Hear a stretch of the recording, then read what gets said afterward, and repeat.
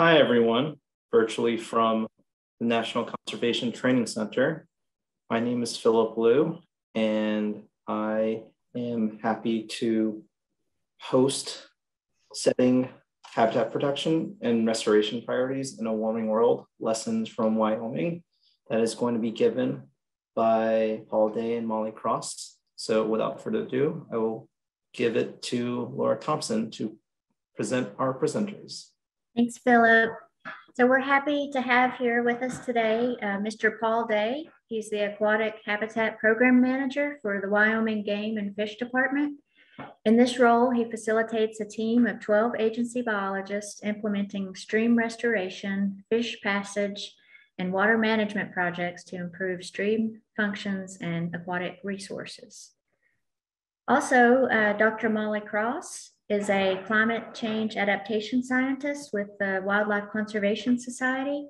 Her work brings together researchers and conservation practitioners to incorporate climate change science into on the ground conservation goals and actions. She is also uh, Director of Science for the WCS Climate uh, Adaptation Fund, which supports applied projects demonstrating effective interventions for wildlife adaptation to climate change in the United States. Paul and Molly, we're both delighted to have you both with us today. Thank you so much for being here. Thanks, Laura, for the introduction, and thanks so much for the invitation to present here today. Uh, it's a real honor to be co-presenting this uh, about this project with Paul. Um, he and I have had a great chance to work together over the last year and a half or so on this project, and it's exciting to be able to share it with um, some folks outside of our close circle. I'm really glad that you will get to hear directly from Paul himself, since I think sometimes hearing it from the end user's perspective of kind of how we collaborate and how we bring climate information into management planning is uh, especially useful. I'm going to start off with a bit of an introduction and background to the project. This work was funded by the North Central Climate Adaptation Science Center, or the North Central CASC, as we sometimes call it.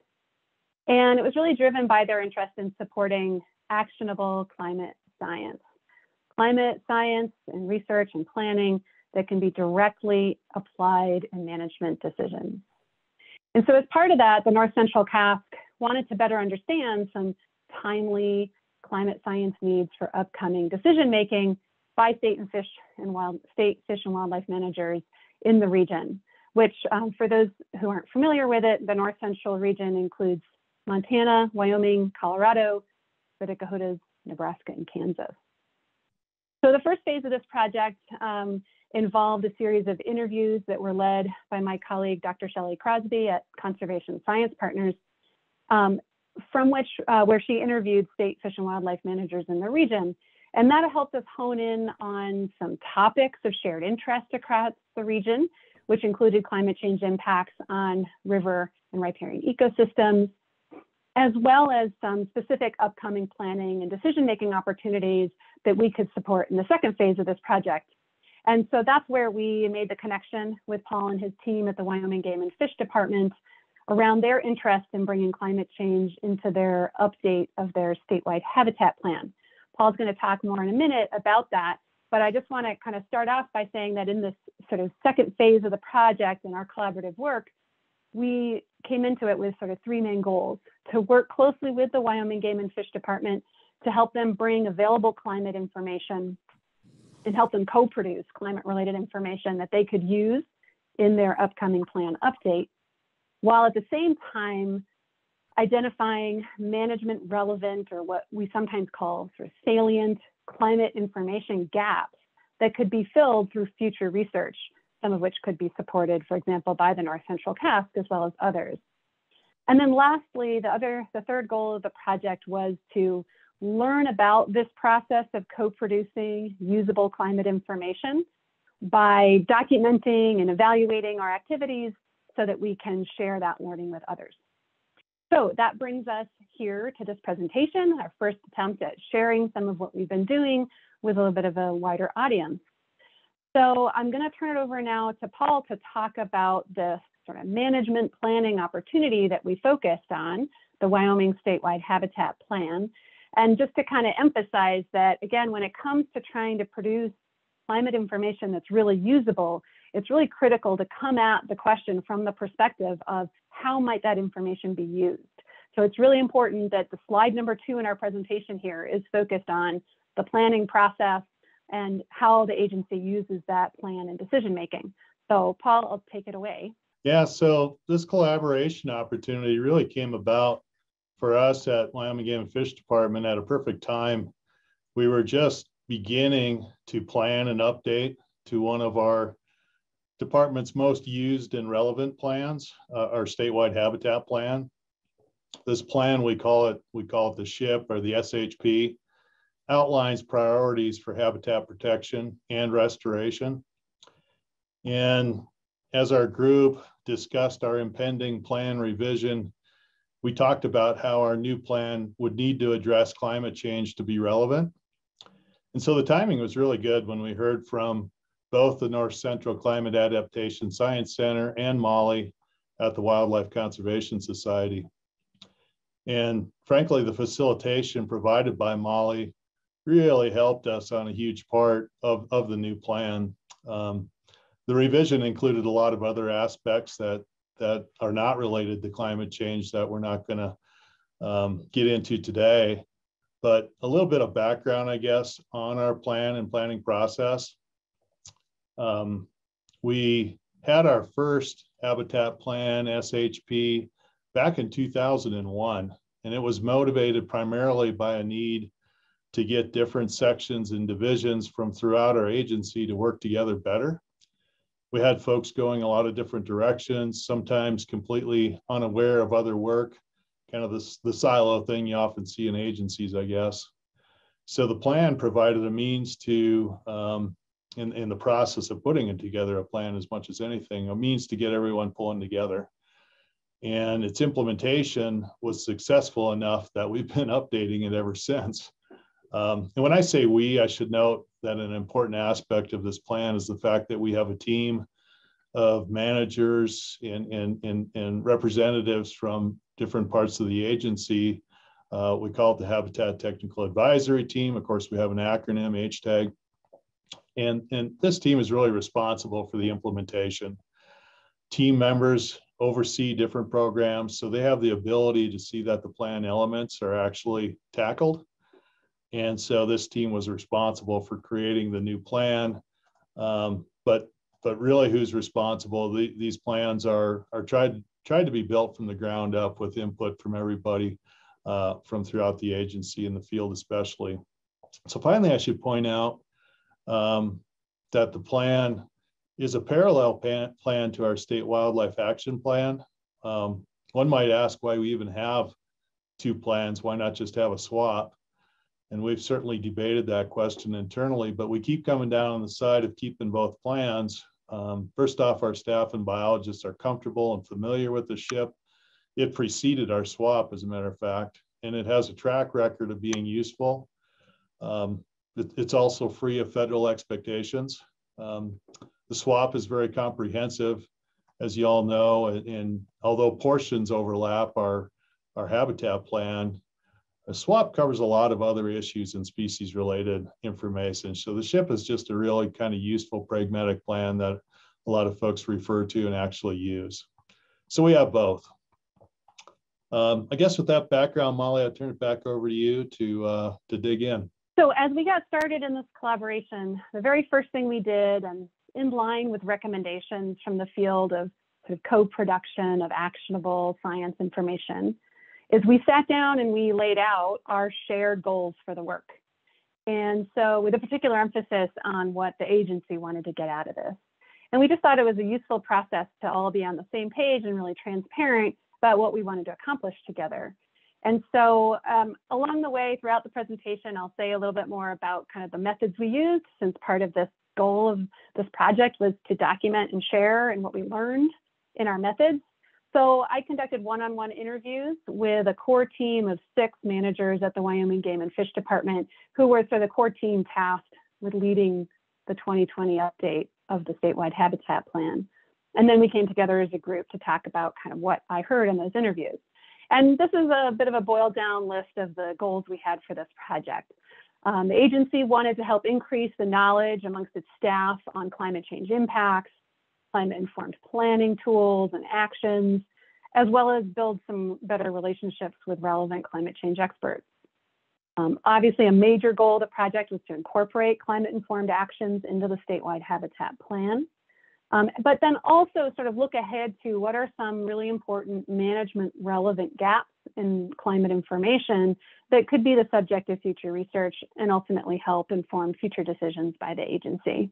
And then lastly, as I said before, we wanted to be able to advance our learning on some of these methods for linking climate information with natural resource management decision making. So again, in terms of the steps of the project and a little bit more about the methods we used along the way, um, the first part of the project was spent mostly on my end, trying to learn more about the decisions and the decision context for the agency. So I reviewed previous versions of the statewide habitat plan and again had lots of conversations with that core team at the department to better understand the plan, what kinds of information typically go into those plans, to then be thinking about how climate change could be relevant. We worked with a scientist, Dr. Imtiaz Rangwala at the North Central Climate Adaptation Science Center um, to, to synthesize the available climate projections that were sort of tailored to be directly relevant to the state and the agency as they were thinking about this.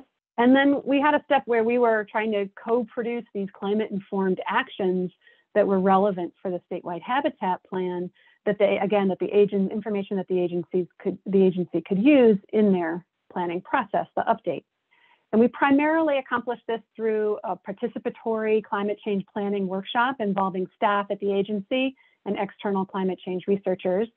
Um, but that wasn't all. We had to have lots and lots of meetings with the core team at the Wyoming Game and Fish Department and myself to um, kind of digest and translate the material that came out of that workshop to really bring it and make it useful to the plan. And we'll talk a bit more about that in the next few slides. In terms of identifying these longer term information gaps and needs, we utilized time at the workshop to focus on that, but we also followed up with an online survey to, to better understand priorities. And then lastly, we tried to really learn about the project as we went. And we did that, evaluated our methods and, and our activities and the ultimate outcomes of the work through surveys, as well as some semi-structured interviews at the end of the project.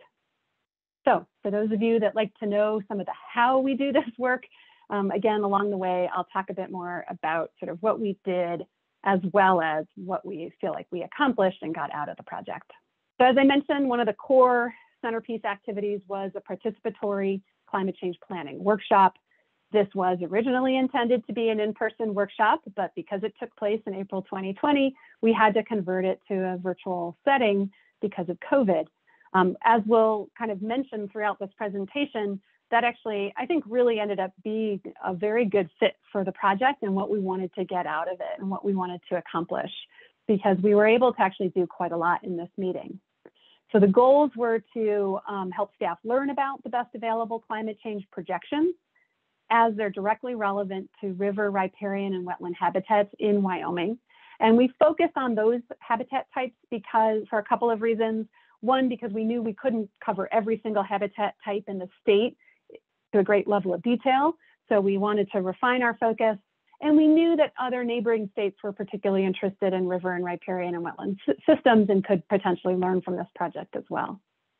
We had sessions at the workshop where we explored the ecological consequences of climate change, and then sessions where we talked about climate informed habitat protection and restoration actions that could be relevant for inclusion in the statewide habitat plan. And then lastly, we ended the workshop with a session on you know, questions about what kinds of data or information or analyses would be helpful to the agency making future climate informed decisions. Again, the virtual setting, we believe, led to a pretty high level of participation.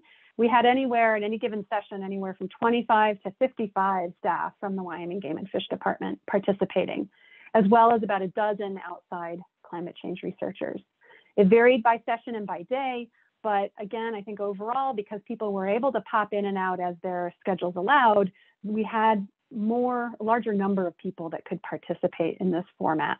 And the format was very interactive. We had a few climate science presentations to kick things off, but most of the time was spent in interactive breakout discussions where people had a lot of opportunity to contribute. And so one of the ways we facilitated those contributions was through the use of, you know, online, live, editable Google Docs. So again, a little bit of the behind the scenes part, but we do think this is really important to the ultimate outcomes of the project. We were able to work with worksheets like this during the breakouts where coming into the meeting, Dr. Imtiaz Rangwala provided these projections and what the climate model said about what future conditions might look like in the state in four focal geographies that we focused on. And then during the workshop, experts and staff at the agency, outside experts and staff in the agency collaboratively worked together to articulate what they saw as the kind of core key ecological consequences of those changes. People could type directly into these documents, they could offer comments verbally, and we had a note taker that would document it all. It generated a lot of information that we'll talk about again over and over again in this presentation. A lot of information, way more than I've generated in typical in-person workshops with flip charts. And so that I think, you know, as we'll talk about again, led to a lot of sense of incorporation of perspectives from across the agency in this content. Ultimately, over the course of the workshop, we collaboratively produced together a list of you know, over 75 habitat management actions that were seen as being helpful to addressing and reducing climate change impacts on river, riparian, and wetland systems. We ended up with over 40, around 44 statements of information that's needed to make better climate informed management decisions in the next five years. And again, a lot of content and information which you can read about in, um, there's a link to the workshop report where you can see all that we produced. So how did this information and how did this workshop activity ultimately lead to some of those goals, achieving the goals that we set out for ourselves? So I want to pivot now to going back to, this is the list of goals that I shared at the beginning of the presentation around wanting to increase the agency staff's knowledge around climate change and its impacts, incorporating climate informed actions into the SHIP, identifying future gaps in information that could be the subject of future research, as well as kind of what we learned along the way from these methods. And so I want to structure the rest, we're going to structure the rest of the presentation um, using kind of kind of going through these one at a time and sharing some results. I'll talk about the first bullet and then I'll, I'll finally get to pass it off over to Paul to talk about kind of the highlight, which was how this information actually got incorporated into the plan. And then I'll wrap up with the last two bullet points. In terms of kind of how we gauged how the project was able to support an increase in knowledge and, and familiarity with climate change information amongst staff at the agency, we conducted a survey of workshop participants and staff at the agency, but right before the workshop and, and immediately after. And we were able to ask some questions around how what they got out of the workshop, how they benefited from the workshop, and what they learned. And so I'm going to show um, a couple of graphs that all have the same format. Um, and this is just a little piece of some of the information we got out of these surveys. But basically, we asked questions like, as a result of the workshop, did you, in this case, gain new knowledge about climate change projections and impacts. We had uh, 35 staff at the Wyoming Game and Fish Department respond to the post-workshop survey. And you can see here, almost 90% of them said yes. We gained new knowledge about climate change and its impacts as a result of the workshop. A similar number percent reported that they felt more comfortable integrating climate change information into their work as a result of the workshop. Again, the same, same percent said they feel more familiar with approaches and tools for climate change informed conservation planning, as well as they feel more familiar with climate change adaptation strategies and actions that are relevant to their work. So, you know, taken together as a collection, we felt like that was a really resounding, you know, yes, this workshop really added value and helped us make some real um, sort of strides in achieving that first goal around increasing knowledge and, and access and familiarity with climate change information. In terms of how the workshop was able to help the agency connect with, with additional climate change expertise in the region, we had this question about, you know, did you meet, in quotes, since it was a virtual setting, uh, any new individuals with whom you will likely develop or share information about climate science in the future? Um, this was the numbers are a little bit more split. There were more people who said no to this question than, or the same, you know, 50 50 said yes versus no. Um, and, you know, there's a couple of reasons why I, I was thinking maybe the virtual setting led people to sort of feel like they didn't really meet people. Um, but Paul also pointed out when we were looking at this data together that because there was such high participation amongst staff in the department, it included people who are biologists and work regularly with other scientists, but it also included individuals who help to manage the irrigation systems on state lands that are irrigated for hay for wildlife use. So, you know, quite a large range of job descriptions and job responsibilities, some of whom maybe are less likely to be following up with climate scientists as part of their job in the future. So, um, you know, kind of an interesting to sort of think about this information. But overall, we found that at least half of the people that responded to the survey said, yes, I found, you know, met some new people or know about some resources that they may not have known about going into the meeting. So again, that was, I think, really positive, especially given that we felt that this part might, I felt that this part might be a little bit limited in the virtual setting. One thing I will say about this sort of increase in knowledge, what was interesting is we found that for individuals who came into the meeting with relatively less knowledge to start, you know, so in their pre-workshop survey, they indicated they had, you know, not a lot of knowledge about climate change and its impacts coming into the meeting. They actually increased the greatest amount in terms of coming out of the workshop, how much knowledge they felt they had about, or, or knowledge about impacts or familiarity with climate adaptation actions. So that was kind of interesting to think about in terms of how a workshop like this and for whom can it really add value. So now I get to turn it over to Paul to talk more again about the kind of centerpiece of how how was the department able to pull information from this workshop and this effort and bring it into the plan? So our commission approved our new statewide habitat plan in late fall 2020, about a year ago, uh, November. And certainly this new plan has a strong grounding in climate science. Uh, for example, the Wildlife Conservation Society performed an analysis and noted that climate's mentioned 63 times more than, than our last plan. And climate considerations um, from the workshop have, have their own section in the plan. So it's certainly uh, a lot more explicit uh, this go around. Our plan has specific strategies and actions, and we flag those that um, address climate change at some level. So we have 76 actions throughout the plan, and 40% were flagged as addressing climate change. And the next slide shows an example of that.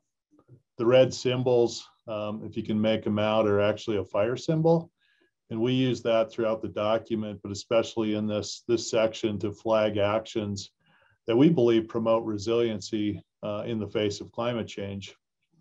In some cases, the actions we flagged as being relevant to climate change are things the department is already doing.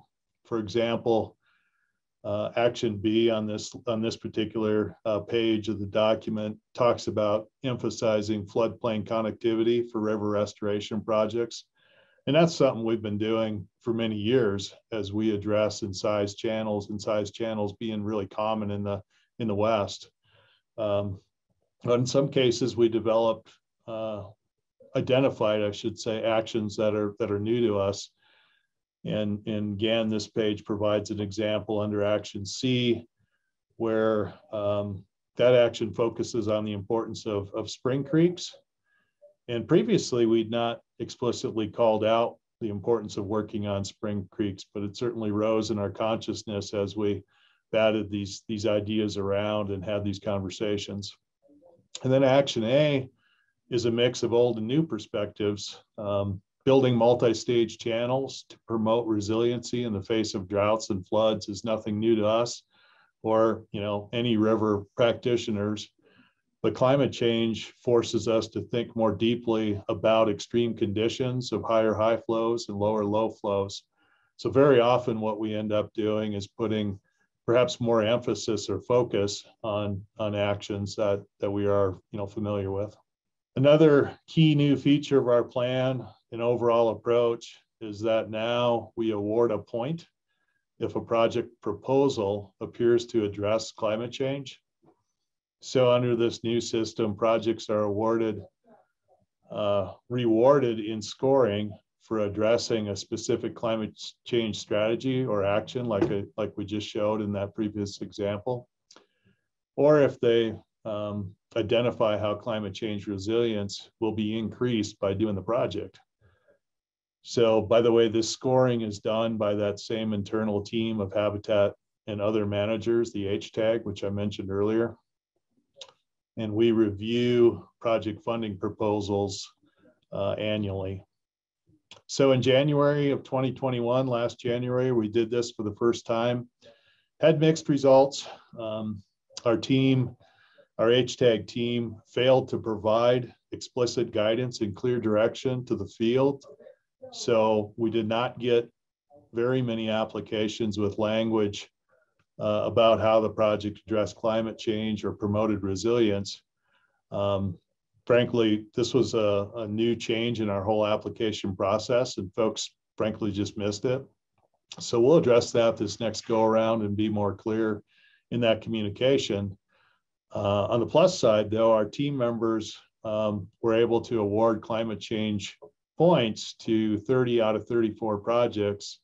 And we, we didn't attempt to get um, real prescriptive or provide re really detailed guidance for team members on how to define projects that might qualify. It was left up to their judgment. And this seemed to work, work okay.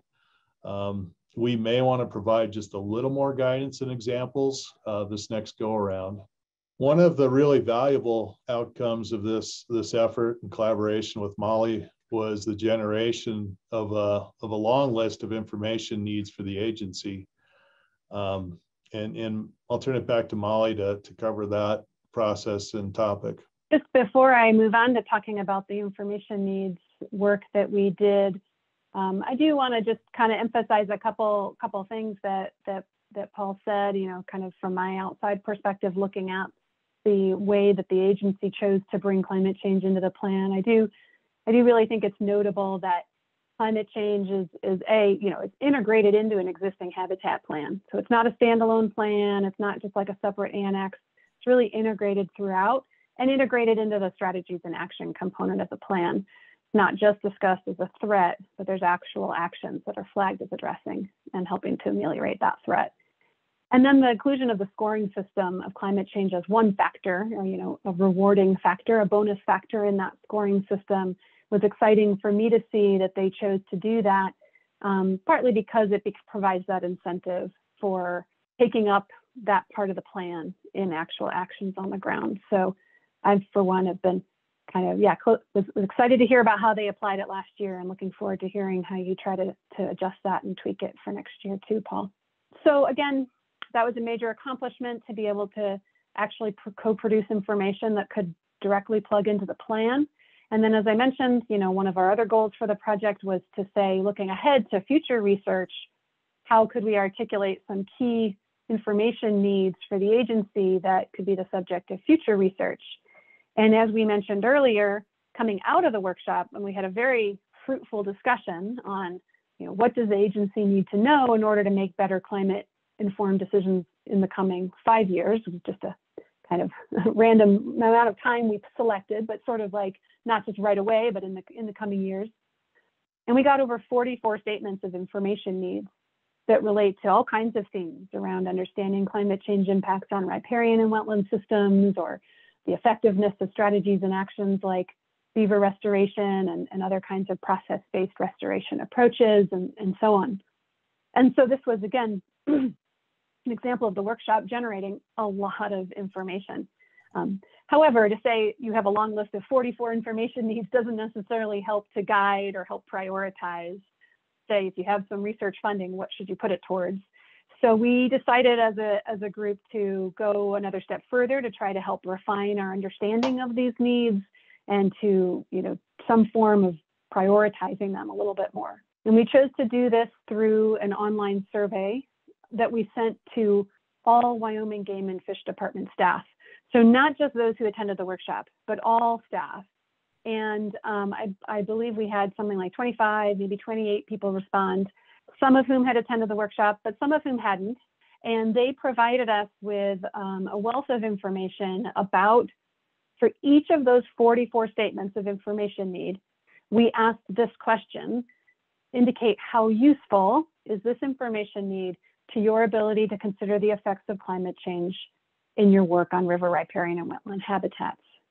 So for every single one of those 44, we got information on whether uh, managers felt it was very useful to not at all useful to their work. So from those results, this is one of those classic slides where I tell you, don't try to read all the words on this slide. It's mostly just to convey that we got a lot of, we keep getting a lot of information as part of this project. But this was a really interesting piece of bit of information that we received for every single one of those 44 statements of information need, we, we got a sense for, you know, what percentage of the responding managers felt they were very useful to their work or less useful to their work. One thing to note is that every single one of those 44 statements had at least one manager respond saying that filling that gap would be very useful to my work.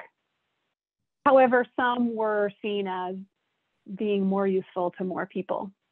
So we were able to use this information from the survey to refine that list of 44 a little bit further and allow us to pull out things like what we call here, this is what we call the tier one information needs. Those that were seen as useful or very useful to over 60% of survey respondents. And so this gets us to a list of eight information needs related to, again, a number of different themes around hydrology or the effectiveness of process-based restoration approaches, or how to think about water management and trade-offs. Um, so, you know, where you draw the line and decide that these are the tier one or these are the highest priority is sort of up to the agency and thinking about, but it at least starts to flag some topics as being broadly of interest to a large number of managers in the agency. And so internally, the idea is the agency can use this information for when they have funding for research projects to help them think about some topics they might want to focus on. We also hope that this information, which is in our workshop report, can also be helpful for outside researchers, scientists who want to do management relevant science, but aren't sure what questions managers are most interested in. This starts to give some indications of, at least for the Wyoming Game and Fish Department, what are some research questions that can directly relate to their work and could be a foundation for starting up some conversations with the department about how, how they might collaborate or at least help to inform a research project that wants to be management relevant. Okay, so this brings us to the last part of the presentation where I just want to share a little bit about, again, kind of what we learned about the methods we used and in particular, what seemed to work particularly well from this project in case it's useful for others that like that are interested in doing this kind of work or are doing this kind of work in other places. So I already mentioned the workshop surveys. Those obviously give us some indication of the value of the workshop and, and the benefits that that um, activity or that method um, provided to the, to the project. But I'm gonna focus here on sharing some of the results from our post-project or kind of end of the project interviews uh, two colleagues, two social scientists at WCS, colleagues of mine who were not intimately involved in the research and project, or sorry, the project activities, conducted these interviews with Paul and his other colleagues on that core team at the agency who were, you know, I worked with sort of throughout the project. Um, and they also interviewed me as well to kind of hear some of our perceptions about the project methods, their usefulness, their replicability, and so on through those conversations, one thing that jumped out was the benefits that having a position like a, a person like myself, what we call, what some of us call a boundary actor, somebody who's kind of in between the research community and the management decision making community and understands a little bit about both of those worlds that having somebody myself in that role as a boundary actor was very beneficial to the project. And so we'll talk a little bit about what about having that, you know, my role in the project was helpful. And I'll just acknowledge that this is the part that's a little bit awkward for me to present because I'm going to share a little bit about, you know, my role and how it was helpful to the project, but I'm just going to acknowledge that it's a little awkward and just move on and share what we heard. so in terms of feedback from the, again, core team at the agency about the process and methods, they reported that the overall way we worked together, the process we used provided lots of opportunities for them to provide input into the project design and to tailor our activities to meet their desired outcomes. As we alluded to earlier, we really all agreed that the workshop format was very effective. Even though we had to convert to virtual and we were maybe a little bit disappointed about that at first, I think it really ended up being a boon to this project. Participation was very strong And using the shared interactive Google Docs encouraged inclusivity. So a lot of staff in the department had a chance to contribute ideas and content to this material.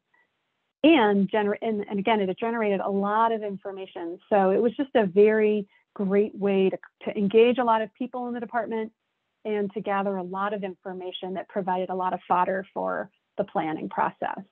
Staff at the department, you know, emphasized that being able to work with climate experts that were very locally knowledgeable and to look at climate data that was tailored specifically to the state and to the habitat types that we were discussing made the impacts more tangible and promoted even better, again, engagement in the discussion and made that the sort of climate change discussion very practical and relevant to their work. Um, and we all found that sort of the approach we used to sort of filter that long list of information needs to some relatively higher priority ones was really effective and got to some very useful information overall, um, staff at the department felt like this should, you know, this was a pretty replicable process. The activities we used are things that others could potentially pick up and use um, for their purposes as well. But this sometimes came with the caveat of, especially when there's the support of somebody playing this kind of boundary actor role. So in terms of some specifics that came out about the boundary actor and, and, and what role um, I was able to add to the process, one was just flat out the time commitment. You know, being able to engage in the process over time. It's not like I came in and just facilitated the workshop and then pulled out, but was able to be there and be supportive of the rest of the, the hard work of figuring out how do we make sense of the workshop material and incorporate it into the plan. Uh, I was able to bring to the table some ideas on methods, so specific ways to engage staff at the workshop and how to design the surveys to get further input and then partly helping to drive the process. You know, sometimes you just need somebody who's like, okay, when's the next meeting? Let's talk again in two weeks. Let's keep it going. Um, asking the right questions to kind of keep our ideas moving along. Um, but you know, not like dictating what that schedule is going to be, not dictating it, but involving everybody in the process along the way. And then again, being able to spend that time, you know, put in some of the hard work to help the team process the information, all that information that came out of the workshop, and then you know make some sense of it as it relates to the plan.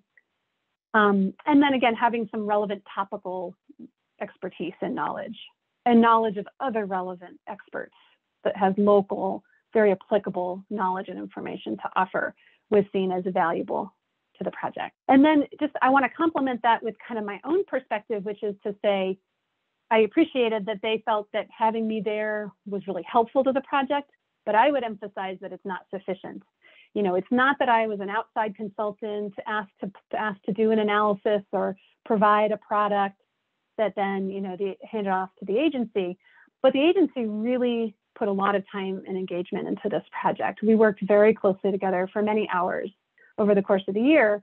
And I think that's what really led to the successful outcome. It wasn't me suggesting or, God forbid, telling the agency this is how you ought to bring climate change into your plan.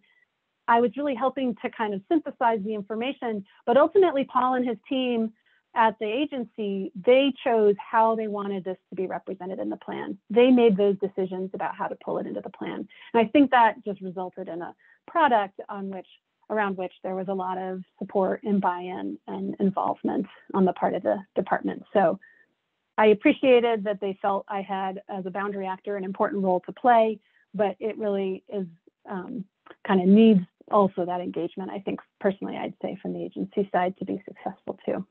So with that, we'll wrap it up and finally turn it over to see if we have a little bit of time for questions. Um, you know, obviously there are a lot of other state agencies like Wyoming Game and Fish Department who, who support science-based management decision-making and are interested in incorporating climate change, but who also may not necessarily know exactly how to get started or, or how to bring it into a particular planning process. Um, we hope that our project offers some insight into some real practical ways to get started and move forward on it, um, despite some of the challenges. So again, we found the workshop was a really uh, feasible and practical and effective way to get input from a lot of people. Um, it provided that opportunity for participation as well as the gathering of a lot of information. Um, and again, for others interested in this work, I think you know we would all agree that having somebody being able to play a boundary actor type role engaging with additional regional experts can help support the agency fill critical knowledge gaps that the agency may not have in-house, and overall hopefully lead to a more um, well-informed kind of process and project. And then I'll just wrap up with uh, really, really the words of, of, of, from Paul when we were talking about some key take-home messages that obviously a plan is only useful when it's actually used. It's exciting to hear that they used the plan just this past year and continue to plan to use it. Um, but you know, of course, we all need to keep our foot on the gas, if you will, to really make sure that climate change becomes, you know, part of the many issues we all consider in thinking about natural resource management decision making so that hopefully, you know, we're thinking about the most effective investments we can over time. And I'll just uh, pull up the last slide. I'll say thank you very much, turn it over, open it up for questions. Um, here's a link to the, to the plan if you want to see more about how the agency brought the information into the final plan or the updated version of the plan, link to our workshop report, and of course, acknowledge the many teams of people who, who participated in and contributed to this effort from inside the agency and out. All right, Molly, Paul, there's a question in the chat um, from Scott Larson who asks Beyond specific actions, climate change topics, or information needs, are steps in place to continue to strengthen and expand new relationships between the Wyoming um, Department of Game and Fish and the North Central CASC into the future in the long run? You know, the um, the CASC hasn't been shy about reaching out to uh, to contact us periodically in the states in general in the West about information needs. I, you know, I'd be surprised if we we didn't hear. We don't really have a, a plan in place per se. Um, that's that's an interesting question, but I'm I'm confident we're you know we'll be continuing to communicate uh, through time. Yeah, I would say you know in terms of so as Paul mentioned, this plan was approved by the Wyoming Game and Fish Commission um, a year ago. And I would say over the course of this past year, some of the ways we've continued to sort of work together or stay in touch is, of course, through sharing the project through venues like this, but also, um, you know, as I learn about projects that are doing research, especially related to some of those high priority information needs, I often reach out to Paul and ask if there's colleagues at the department who might want to be connected to those researchers or when there's funding calls, funding opportunities from the North Central CASC.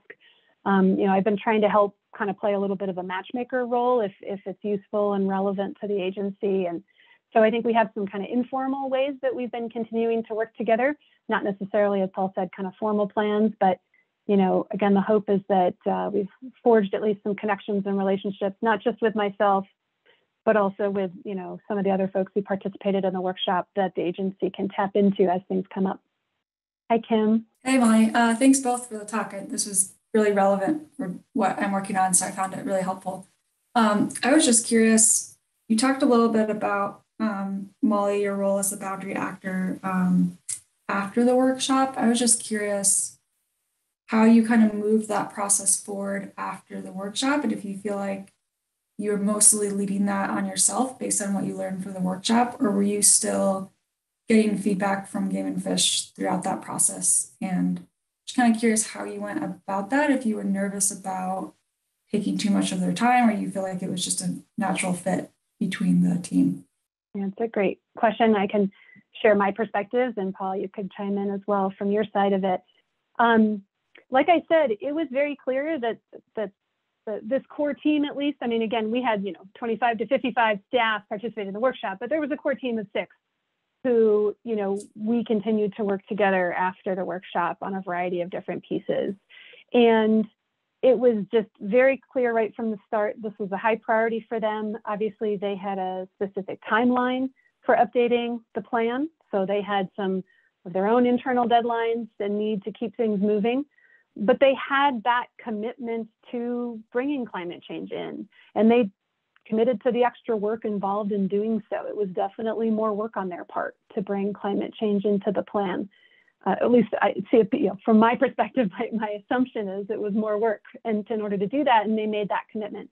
So i never it wasn't you know me nagging them like let's get on the calendar. We, we would have a call and at the end we'd all be like okay when's our next call let's it probably should be two weeks because we want to keep this moving. It was um, very neutral. Paul, would you what would you say? Yeah, you just said all the words I was going to say, so I don't know what to add to that. Um, you know, it's fairly natural. Uh, we we we did have a kind of a target date of, you know, November, December of, of last year. And so when you dial back a schedule based off of that and you need to get reports done and, and, and the pieces put together, it, you know, felt like a joint responsibility. And, um, and so it's pretty natural to, to pick meeting times and dates and, and, you know, with a, with a core team of, of a half a dozen or so folks, if, if one or two people can't make that, the rest sort of charge on. And, uh, so, so it, it it worked out really well that way. Okay, yeah, thanks for the feedback. So I All see a question from, um, yeah, from Charles Drimmel asking about, what do you suggest are the best next steps to see some of those 30 actions addressing climate change implemented on the ground with more projects? And in particular, I know Charles, you're at the Greater Yellowstone Coalition. How can the NGO community support this work? I'll maybe pass that over to you, Paul, just you know, specific to the plan and thinking about how you work with partners. Right. Yeah. So, you know, I think I think it comes down to leadership and and kind of putting the or keeping the foot on the gas, so to speak.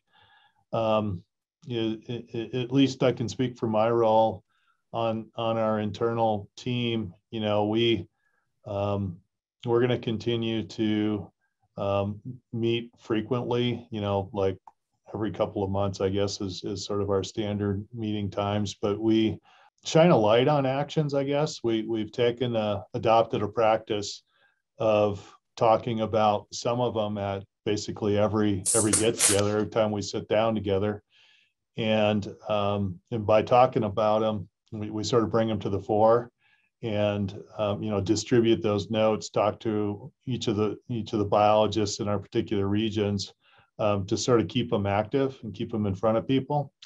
Um, and then and then sort of from the from the ground up from the biologist perspective um, when they're working with partners and folks from the ngo community um, we want we want folks to always be sort of putting their kind of climate change glasses on as they're looking at efforts and projects to see and anticipate um, how might this look differently you know given given you know more variability and changes coming.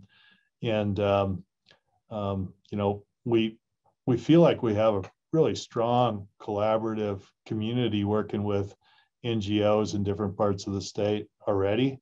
And um, and, and, and, and, and so I, I don't know how to add to that, but um, be willing to contemplate alternative approaches, I guess. Thanks, Paul and Molly. I appreciate appreciate that, and I really appreciate the work that went into this workshop. Um, and I've read through the SHP. It's an awesome resource. And yeah, really to the point of my question, um, representing Greater Yellowstone Coalition, we just want to support the implementation of this work as much as possible. Um, and so part of it, part of my question wonders about like, is it best to work with you, um, you know, kind of from the top out of the Cheyenne office, or is it better to start with um, managers and biologists on the ground um, within the different regions? Or or both? Yeah, I'm generally a generally a uh, all the above sort of uh, approach um, by default, and so um, if if we can kind of talk general themes and, and overall emphases at the same time, um, local biologists and, and NGO representatives are are really talking practical uh, projects. I think um, I think we might have the most bang for the buck yeah, it'll be interesting over time to, you know, Paul, when you um, showed that slide and talked through the slide where we had that kind of screenshot from the plan and showed how some are highlighted as being related to climate change. But even across those, it spans from actions that the agency probably already does a fair amount of work on. That has always been part of the plan, and some things that are maybe newer. And it will be interesting, maybe we could sort of work to track over time as you do use the plan and use it for your annual funding cycles, at least from those that portfolio of projects you decide to fund each year, kind of look at which strategies and actions they're addressing and are there any gaps? You know, so for example, the protection of spring systems maybe is, you know, maybe was something that's maybe a little bit newer to the plan or not as common in what the agency is already investing in. Maybe you'll see that those actions get a little bit less attention than the others because it's easier to continue doing work you're already doing rather than starting up new things. And so it could be interesting over time to look at whether there's certain actions that are flagged in the plan, but maybe not the subject of as many projects on the ground, at least in the first few years, and then use that to maybe communicate about areas to to, to either get partners to focus on or Yeah, or no, totally. Yeah, that's a great on. idea. And then even that example you cite, the Spring Creek one, um, that one's especially germane to the northwest part of Wyoming and the Greater Yellowstone Coalition uh, that Charles Charles is representing. And so, you know, that you just put your finger on it. Happen to put your finger on an example that would be a really good fit. hmm hmm Yeah, well, maybe, uh, maybe after this call, Paul, you and I can take a look at that list of, what was it, 30 projects or so that you did flag as being related to climate change and see which, which strategies and actions did address, those, those projects addressed from the plan. I think Paul probably does a question about uh, to what extent do you guys engage with the tribal fish and wildlife agencies in the state? And I'll just say for, for this project, it was an internal process primarily with some outside climate experts. So my primarily focused on the Wyoming State Agency, but Paul, you could speak more to your work Yeah. outside of just the project we did. Right. Yeah, there's there's a lot of untapped potential for working more closely with uh, with the tribes in Wyoming. We work with the Fish and Wildlife Service, sort of, um, you know, as as almost a proxy, I guess, um, for for that work, and especially in the realm of fish passage. We, and we work some with the tribes on fish passage, which is a huge, you know, climate change resiliency um, um, action. Uh, but there's there's definitely uh, quite a bit of room for uh, for more of that. Well, thank you again to Molly and Paul for this wonderful presentation and um, everyone who participated. Yeah, thanks so much, everybody, for joining. Feel free to contact certainly me. I won't I won't speak for Paul when he may not want to get as many calls, but please No, you feel free to reach me. out if you want to if you want to learn more about the great. project. We'd be Thank happy you. to talk.